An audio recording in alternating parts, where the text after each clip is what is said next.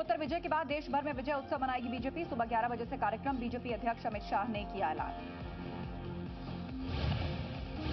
पूर्वोत्तर के तीनों राज्यों में सरकार गठन की हलचल तेज। बीजेपी ने तीन राज्यों के लिए पर्यवेक्षक नियुक्त किए। त्रिपुरा में बीजेपी ने नितिन गडकरी और जेएल उराव को सौंपी ज़िम्मेदारी। नागालैंड में जेपी नड्डा और अरुण सिंह संभालेंगे कमान। बीजेपी ने मेघालय में किरण रिजिजू और अल्फोंस को बनाया पर्यवेक्षक। गोवा से सबक लेकर मेघालय में कांग्रेस का बड़ा दाव, राज्यपाल से मिलकर किया सरकार बनाने का दावा, खास सबसे बड़ी पार्टी होने के नाते कांग्रेस को मिलना चाहिए मौका। मेघालय में कांग्रेस ने इक्कीस सीटें जीती? कांग्रेस के वरिष्ठ नेता कमलनाथ, अहमद पटेल, मुकुल वासनिक और सीपी जोशी को मेघालय में सरकार गठन संबंधी ज़िम्मेदारी दी गई है। मेघालय में बीजेपी और एनपीपी और अन्य क्षेत्रीय दलों के साथ मिलकर सरकार बनाने की कोशिश में आज गवर्नर से मिलेंगे पार्टी नेता। एनपीपी को सरकार बनाने में बीजेपी मदद करने को तैयार। बीजेपी नेता हेमंत बिस्व शर्मा भी आज मेघालय के गवर्नर से मिलेंगे। राज्य के चुनाव नतीजों को कांग्रेस के खिलाफ बताया। राज्यसभा सांसद सुभाष चंद्रा ने पूर्वोत्तर की जीत पर बीजेपी नेतृत्व और कार्यकर्ताओं को बधाई दी है। त्रिपुरा बीजेपी अध्यक्ष बिप्लब देव मुख्यमंत्री पद से सबसे बड़े मज़बूत दावेदार आरएसएस से जुड़े रहे हैं बिप्लब देव। मध्य प्रदेश विधानसभा उपचुनाव की हार को आरएसएस ने बताया, एंटी इनकम्बेंसी। संघ के नेता सूर्यकांत केलकर बोले, राज्य के नेतृत्व में हो बदलाव। जम्मू कश्मीर में पाकिस्तान ने फिर तोड़ा सीज फायर मेजर के बालाकोट सेक्टर में सीमा पार से भारी गोलीबारी। पाकिस्तानी सेना ने बालाकोट के रिहायशी इलाकों को निशाना बनाया। रात साढ़े दस बजे के बाद कई बार फायरिंग। असम में सशस्त्र बल विशेषाधिकार कानून की अवधि छह महीने बढ़ी। राज्य सरकार ने की घोषणा। नेशनल कॉन्फ्रेंस के अध्यक्ष फारूक अब्दुल्ला का बयान जिन्ना की वजह से नहीं, नेहरू पटेल और आज़ाद की वजह से हुआ भारत का बंटवारा। रक्षा मंत्री निर्मला सीतारामन ने कहा, राफेल जेट सौदे की तुलना बोफोर्स से करना गलत, राफेल डील में कोई घोटाला नहीं।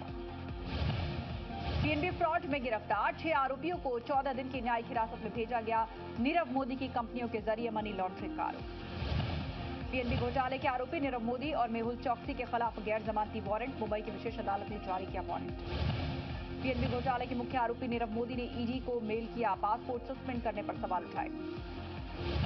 दिल्ली में एसएससी ऑफ़िस के बाहर छात्रों का प्रदर्शन जारी, परीक्षा में धांधली के खिलाफ धरने का छठा दिन, छात्र परीक्षा पेपर लीक की जाँच सीबीआई से कराने की मांग कर रहे हैं। समाज सेवी अन्ना हजारे ने आज एसएससी ऑफ़िस के बाहर प्रदर्शन कर रहे छात्रों से मुलाकात की। अन्ना ने पेपर लीक के खिलाफ प्रदर्शन कर रहे छात्रों को अहिंसा के रास्ते पर अपनी लड़ाई जारी रखने का संदेश दिया। अन्ना ने कहा, युवा चाहे तो क्या नहीं कर सकता। दिल्ली के सीएम अरविंद केजरीवाल आंदोलनकारी छात्रों से मिले, सीबीआई जाँच की मांग का किया समर्थन।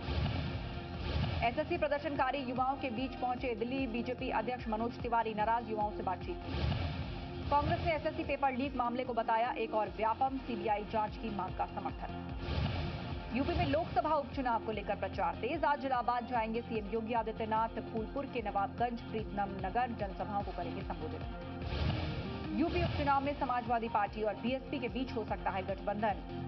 गोरखपुर और फूलपुर में होना विधानसभा चुनाव। आज आगरा आएँगे डीजीपी ओपी सिंह, जोन के आठों जिलों के पुलिस अफसरों के साथ करेंगे बैठक, कामकाज की समीक्षा। मेरठ में महिला खिलाड़ियों पर तेजाब फेंकने का मामला, जाँच में फर्जी निकला। खिलाड़ियों ने खुद ही फेंका था तेजाब महिला खिलाड़ियों ने एक रेप पीड़ित को जेल भिजवाने के लिए रची साजिश, झूठा आरोप लगाकर फंसाया। झारखंड के चाईबासा हादसे में अब तक सात लोगों की मौत, आठ लोगों की हालत अब भी गंभीर। बेकाबू कार ने पंद्रह लोगों को रौंदा था। घायलों को जमशेदपुर किया गया रेफर। उत्तर प्रदेश के शाहजहांपुर में नशे में पुलिसकर्मियों ने तोड़ा कानून। तीन लोगों को पीटा, चार पुलिसकर्मियों के खिलाफ केस दर्ज। नोएडा प्राधिकरण के खिलाफ किसानों का प्रदर्शन, ज़मीन के बदले कम मुआवजा देने का आरोप। बिहार के पटना में दो गुटों में विवाद के बाद चाकुओं से हमला, एक युवक की मौत, दूसरे की हालत गंभीर। बिहार के दानापुर में डीजे के अश्लील गानों पर महिलाओं का डांस, धार्मिक आयोजन में हिस्सा ले रहे थे कलाकार। बिहार के मुजफ्फरपुर में सेक्स रैकेट का खुलासा, छह महिला और दो पुरुष गिरफ़्तार, कई बोतल शराब और आपत्तिजनक सामान बरामद। लाइन होटल की आड़ में चलाया जा रहा था धंधा। हरियाणा के गुरुग्राम में उनचास लाख पचास हज़ार के पुराने नोट बरामद, चार लोग गिरफ़्तार, पुलिस कर रही है पूछताछ। बिहार के दानापुर में महिला से छेड़छाड़, विरोध करने पर पति और देवर से मारपीट, आरोपियों की तलाश। बिहार के आरा में चार साल की बच्ची से रेप का आरोप बच्ची को अकेली देखकर वारदात को अंजाम दिया आरोपी फरार। बिहार के नवादा में पचपन साल के व्यक्ति पर पाँच साल की बच्ची से दुष्कर्म का आरोप, लोगों ने पकड़कर पुलिस के हवाले किया।